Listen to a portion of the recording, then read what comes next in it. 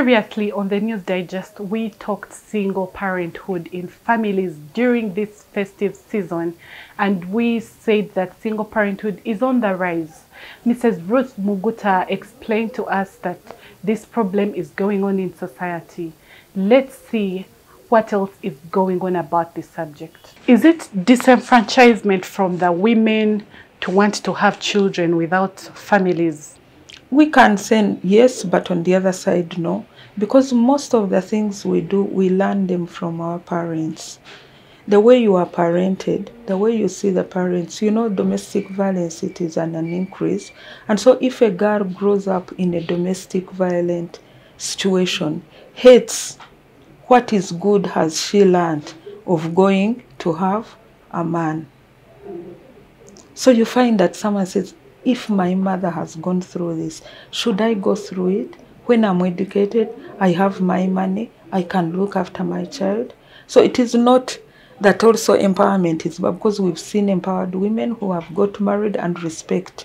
So we have to make sure, I would like to tell the people outside there, as we are in Christmas, the main thing why we make families is to bring up proper and responsible children.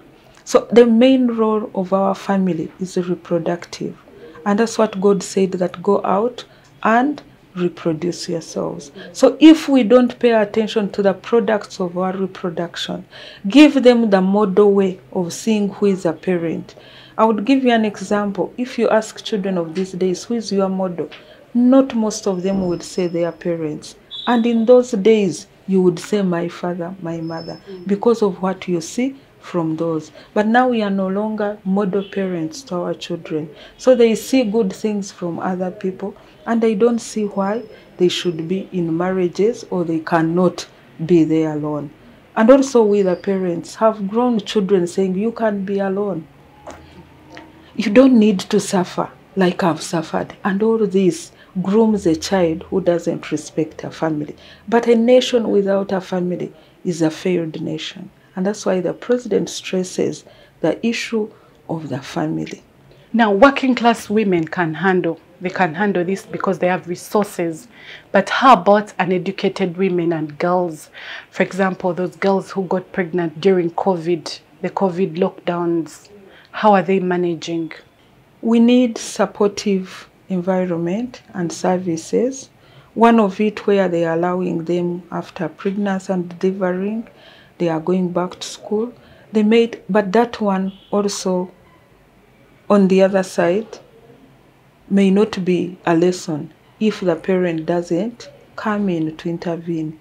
If the government doesn't come in to give services, psychosocial support and say, this has happened, it was not your plan, but you can now be like this. We have helped parents through our parenting programs that we should have visions so this child can be reminded because situations can be there and she gets pregnant, but the dream will not die. And they can be reminded to grow up and ensure that they achieve their dreams. By the way, the village people, the rural people, prefer family situations than we, the educated ones. Because it is where they get security, it is where they get strength, it is where they get support. Whereas here we say, I can give myself, the security, I can get the support. I don't need. So what we need to do is to empower these girls, to empower the parents of these girls, to help these girls achieve their dreams. Getting pregnant is not the end of the world. And maybe it could be our reason as parents why these girls got pregnant. It could be the situations. You can see one of the situations where we have parents are staying in one room and that one is already an, an abuse to the children. And this one makes the even the, the, the young adolescent girls and boys hating the family. They don't have anywhere of their sexuality of their privacy. And they need privacy. They have grown now they start to, to need their privacy. In the process they are exploited. They don't have the love. We are not there. In the process someone comes in to occupy this love and so we have to create awareness to the parents, to the to be parents, to already the old parents, that our children need attention, So- need communication, need love. what are your final words for families that have found themselves in this situation for the first time celebrating this season being single parents? I would like to to say that it's not the end of the world. I'm one of those who is a single parent. This is the time you have to bond with your children and you make sure that your children understand your situation. And even even if you are going to bring in another person to as a figure to help the children should understand your intentions.